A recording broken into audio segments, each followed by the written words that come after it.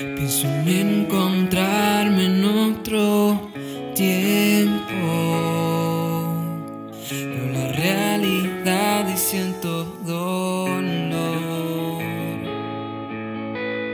Pienso en regresar, viajar en el tiempo. Sin miedos cruzar